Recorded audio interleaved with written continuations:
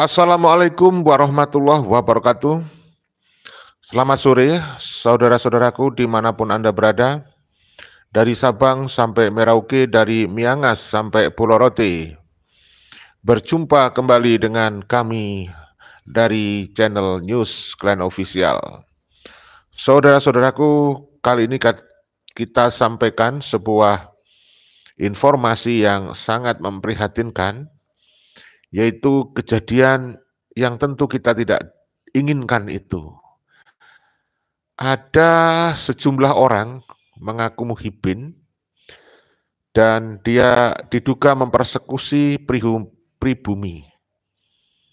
Kejadiannya sangat miris, pribumi ini sampai kemudian dianggap sebagai maling, ya, sebagai maling. Padahal dia bukan maling, tetapi penduduk setempat. Penduduk setempat yang profesinya sebagai pedagang. Ya, tapi karena diframing oleh sejumlah orang, sampai terjadi persekusi terhadap yang bersangkutan.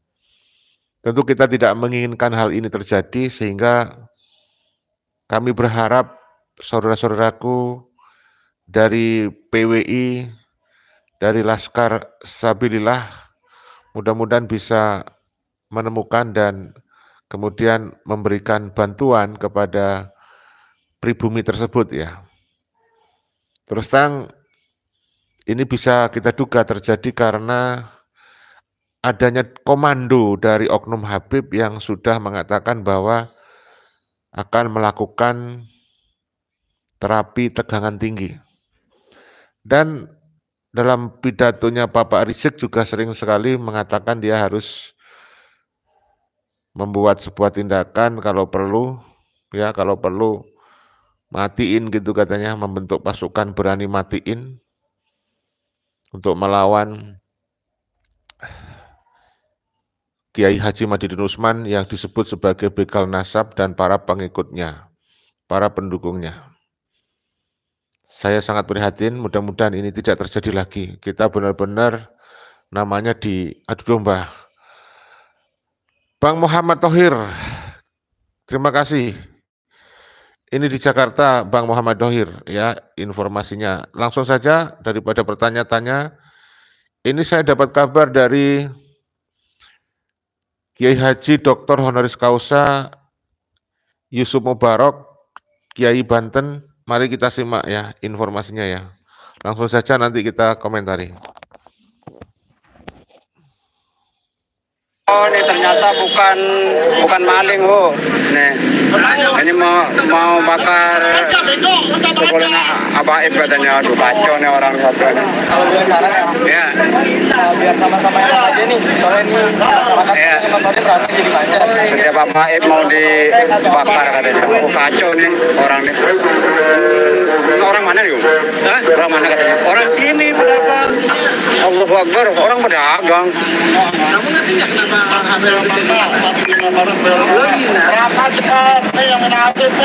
ke arah selatan di Jalan Raya Kebayoran Lama, lalu putar balik. Assalamualaikum. Ya, itu cuplikannya ya. Videonya beredar di berbagai platform media sosial. Jadi ada suara yang memframing dia di framing akan membakar sekolahnya Habib, akan membakar Habib ya pencuri, padahal dia bukan pencuri tetapi pedagang di situ, di tempat itu, di kejadian itu ya. Dari Bang Monkai, terima kasih ya. Coba saya ulangi ya, nanti kita dengarkan penjelasan dari Kiai Yusuf Mubarak, Dr. Honoris Causa. Oh ini ternyata bukan bukan maling bu, nih ini mau mau bakar sekolahnya abaib katanya, aduh kacau nih orang satu ini. Kalau biar saran ya, biar sama-sama yang aja nih, soalnya ini masyarakat Ya. nontonnya berarti jadi macet. setiap abaib mau dibakar katanya, oh, kacau nih orang nih. Hmm, orang mana nih? Hah? Orang mana katanya? Orang sini pedagang. Allahu Akbar, orang pedagang. Kenapa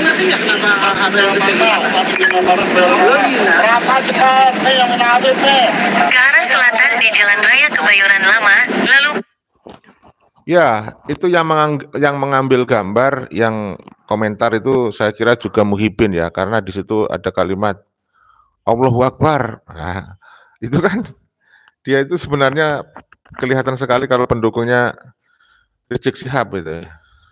Karena Rizik juga sering kali begitu ya. Takbir segala kali melakukan sesuatu takbir gitu ya. Nanti kita langsung perdengarkan dari Kiai Yusuf Mubarak ya. Oh ini ternyata bukan bukan maling oh. Nih, ini mau mau bakar sekolahnya abaib katanya. Aduh kacau nih orang satu ini. Kalau saran ya, biar sama-sama yang aja nih. Soalnya ini Iya. ramai jadi macet. setiap abaib mau dibakar katanya. Oh kacau nih orang nih. Orang mana yuk? Orang mana katanya? Orang sini pedagang. Allah Akbar, orang pedagang. Setelah dia tahu bahwa dia itu pedagang, dia langsung takbir. Allahu Akbar. Oh pedagang gitu ya, kurang lebih ya. Luar biasa. Yuk kita dengarkan penjelasan dari Kiai Haji Yusuf Mubarak berikut ini. Ke arah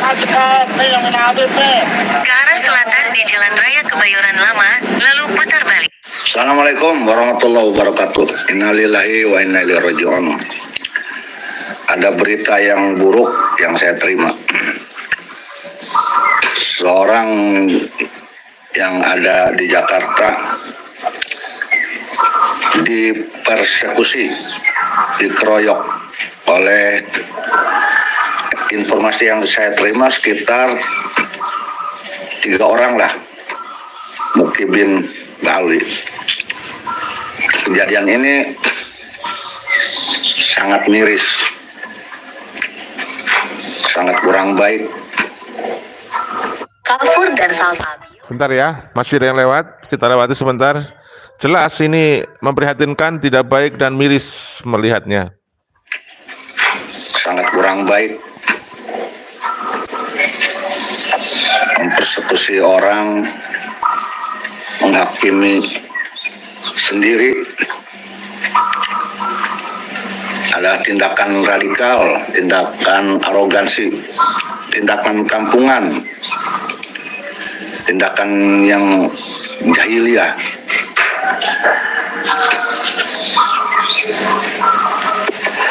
Tindakan barbar. Itu hanya dilakukan oleh orang-orang yang cemen yang pengecut. Satu orang dikeroyok tiga tiga orang oleh oknum Oki bin Bali. Kalah dalam argumentasi dalam keilmian keilmuan akhirnya hanya untuk memaksakan agar dipercaya sebagai uh, keturunan Nabi Muhammad. Junjungannya itu dilakukan dengan kekerasan. Ini sudah sangat kentara sekali perbuatan yang barbar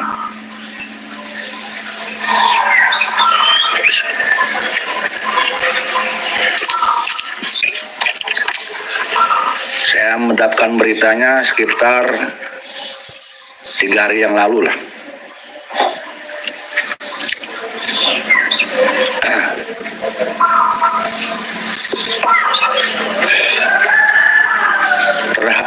Terhadap siapa pun kejadian ini tidak boleh terjadi lagi. Baik yang berkaitan dengan polemik masa ataupun yang tidak boleh di Indonesia seperti ini. Apalagi dilakukan oleh yang mengaku pendukung pecinta Bali yang katanya Habib yang katanya keturunan Nabi Muhammad SAW tapi perbuatannya tidak mencerminkan seorang yang beradab. Tidak selayaknya seperti itu mestinya. Kalau memang dia pendukung cinta keturunan Nabi itu lebih mengedepankan akhlak dan ilmu Jadi ini mah kayaknya bukan pendukung keturunan Nabi. Pantasnya mah pendukung preman, premanisme. Barbar. Untuk di Banten dengan jelema jajawaraan ya. Disebut jawara tuh pantas. Karena jawara sejatinya jawara mah kalau musuhnya satu ya satu. Ini keroyokan, tindakan kampungan. Bentar ya, masih ada yang lewat lagi nih. Ya, kita lanjut. Nah, ini. dan ini mungkin membuat bangga tuannya ini. Nah, kalau tuannya juga bangga, sangat bodoh sekali kalau menurut saya. Seharusnya yang jadi tuannya pun menegur. Ini mem- mempermalukan, tidak gentle. Jadi ya mentalitasnya sama aja berarti dengan oknum mukibin tersebut. Mentalitasnya recehan. Mentalitas sederhana recehan, pengecut. Ya, saya sangat menyesalkan sekali kejadian ini. Salah satu pribumi putra Nusantara dipersekusi oleh orang yang tidak bertanggung jawab. Ini jangan ditiru oleh kita semua.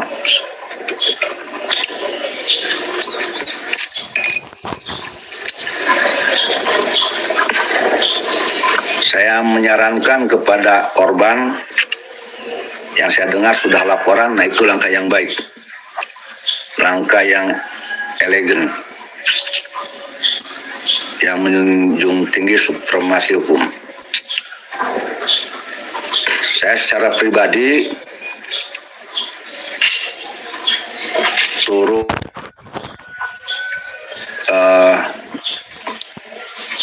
menyayangkan kejadian itu. Dan di saat ini juga saya menghimbau dan menginstruksikan kepada PWI Laskar Sabilillah yang ada di DKI Jakarta sekitarnya Bekasi untuk segera membantu saudara kita tersebut baik dalam proses hukum maupun yang lain dan dijaga keamanannya. Jangan biarkan ini terjadi kepada siapa pun. Indonesia harus aman. Indonesia harus tetap menjaga stabilitas keamanan. Indonesia harus bersih dari tindakan oknum-oknum yang barbar, yang premanisme, radikalisme, sok jago, sok jawara sudah tidak laku. Sudah bukan zamannya, zaman jahiliyah sudah tidak berlaku. Jago kandang, jagonya cuma di Indonesia aja, tapi ke Israel, ke Palestina kagak. Jagonya jago banci karena satu orang dikeroyok. Sekitar tiga orang kalau tidak salah. Itu jago bukan jago itu jago banci itu mah cemen.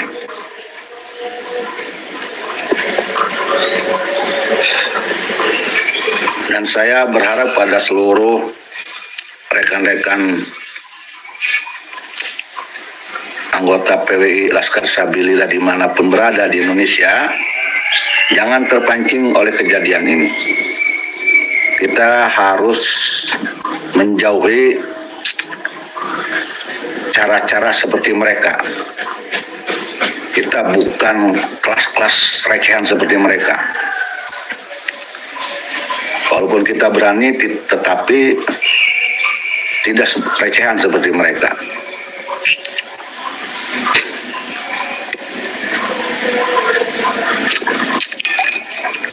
Berharap kepada seluruh anggota PWI Laskar Sabilillah di Jakarta, di Bekasi, di mana pun berada di seluruh Indonesia, tetap kita tenang, kita jaga marwah Wali Songo, marwah putra pribumi Nusantara, marwah ulama-ulama kita, dan kita tetap menjaga kesucian Rasulullah Muhammad Sallallahu Alaihi Wasallam, menjaga supremasi hukum di Indonesia jangan terpancing oleh tindakan brutal oknum Kibin Baklawi yang pecundang seperti itu.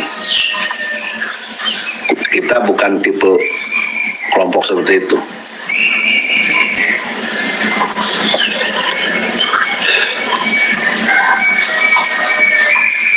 Fokus kita semuanya itu tetap mengawal tesis Kiai Haji Imaduddin dengan ilmu dan dengan akhlak.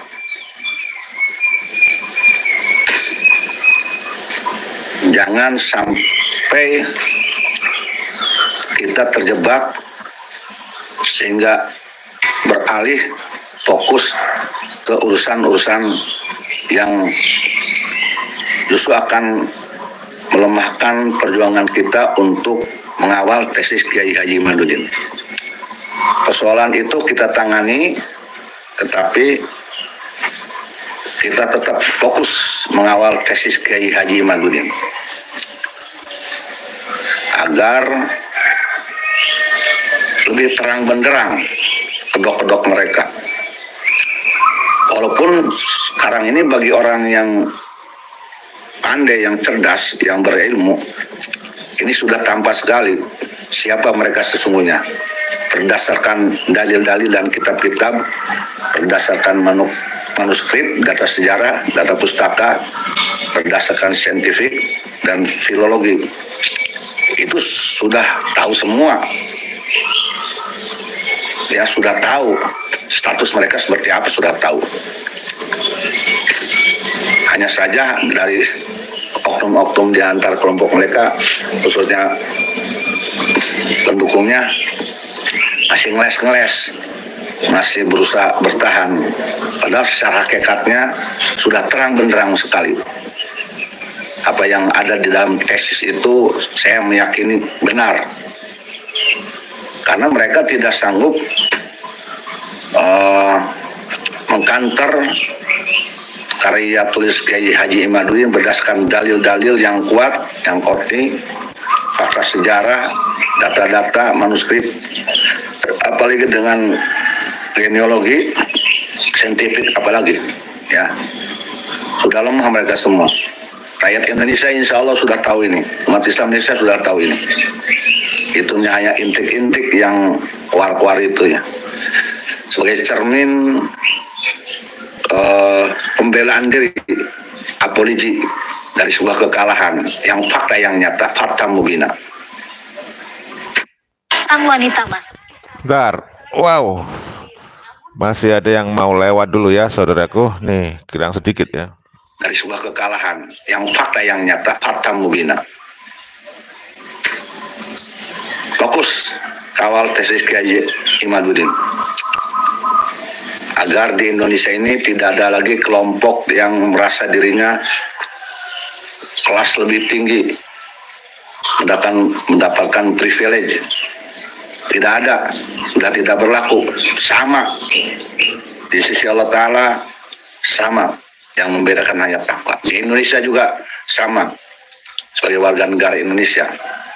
Nggak ada lagi kita tuh bahasa-bahasa kualat tidak dapat syafaat Nabi kalau tidak mencintai kelompok tersebut. Sudah tidak ada. Itu doktrin-doktrin palsu. Doktrin buta yang hanya diyakini oleh orang-orang yang bodoh saja kalau menurut saya. Yang hanya diyakini oleh orang-orang yang bodoh yang mudah tersihir oleh doktrin tersebut. Saya mengajak seluruh seluruh putra pribumi Nusantara untuk bangkit, untuk melek, merdeka dari seluruh penjajahan, baik penjajahan fisik, moral maupun penjajahan uh, kebebasan berpendapat. Dan saya mengajak pada semua rekan semuanya untuk tetap tenang, tidak gentar, tidak takut. Mereka tidak perlu ditakuti.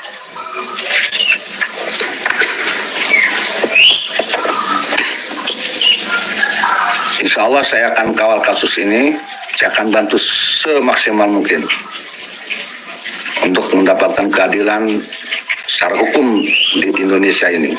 Kejadian itu kerjanya persekusi itu adalah imbas dari instruksi sesat oknum Ba'alwi yang memerintahkan kepada mukibin-mukibinnya untuk melakukan arogansi imbas dari sebuah kekalahan diwujudkan dengan kekerasan, dengan arogansi main hakim sendiri. Jadi instruksi-instruksi seperti itu lahir dari orang-orang yang kalah, orang yang tidak gentleman, tidak jantan, tidak bisa mematahkan karya tulis Kiai Haji Madudin karena kekurangan ilmu data untuk membuktikan bahwa benar Ubaidillah itu anak Said Ahmad bin Isa, maka mereka melakukan dengan tindakan barbar dan instruksi jahiliyah. Instruksi barbar, instruksi pengecut, memprovokasi putra pribumi Nusantara untuk melakukan tindakan yang barbar, tidak tidak terpuji. Padahal mereka selalu meneriakan revolusi akhlak, revolusi mental, cucu Nabi, amar ma'ruf nahi mungkar, tetapi justru menginstruksikan kemungkaran. Itu dusta sekali. Yel-yel yang sering dikatakan oleh mereka itu itu hanya sepi dusta tidak berbobot sama sekali kita kita ini selalu dibohongi dengan slogan-slogan amar ma'ruf nahi mungkar, revolusi anak, revolusi mental, jihad. Tapi itu sebetulnya adalah cara yang sangat kicik untuk mengelabui seluruh putra pribumi Nusantara agar kita tunduk kepadanya. Kita bisa dijajah oleh kelompok mereka. Sebagaimana Belanda menjajah bangsa Indonesia ini. Maka harus kita kantor, harus kita lawan dengan keilmuan dan akhlak, dengan dengan kesadaran diri kita. Wallahu billahi taufiq wal hidayah wal minkum. Wassalamualaikum warahmatullahi wabarakatuh. Waalaikumsalam warahmatullahi wabarakatuh. Terima kasih Kiai Yusuf Mubarak honoris causa, doktor honoris causa dari Banten. Masya Allah. Jadi kita tetap waspada, jangan melakukan tindakan-tindakan yang melanggar hukum, ya. Kita pakai tindakan yang terarah dan terukur untuk kebaikan kita sendiri. Jangan tindakan-tindakan arogan, persekusi, kita lakukan kecuali membela diri ya. Kalau membela diri tidak ada persoalan. Tetapi kalau mereka tetap tetap seperti itu ya mau apa lagi. Tapi kita harus tetap bisa menjaga diri ya, mengendalikan emosi. Saudaraku, demikian ya yang kita bisa sampaikan. Saya nggak bisa berkata apa-apa lagi nih kecuali hati saya lagi panas ini mendengar kabar seperti itu. Ya, mudah-mudahan bisa dicari jalan yang terbaik. Kasusnya sudah ditangani kepolisian. Tadi disampaikan oleh Kiai Yusuf Mubarak sudah dilaporkan katanya. Sudah dilaporkan ke pihak kepolisian Mudah-mudahan pihak kepolisian bisa mengambil jalan yang seadil-adilnya. Tidak menjadi muhibin juga mudah-mudahan ya. Saya kira itu, mohon maaf kalau ada salah-salah kata. Salam persatuan, salam Pancasila Jaya, salam NKRI harga mati, salam Undang-Undang Dasar 1945, salam Binika Tunggal Ika. Wassalamualaikum warahmatullahi wabarakatuh. Merdeka!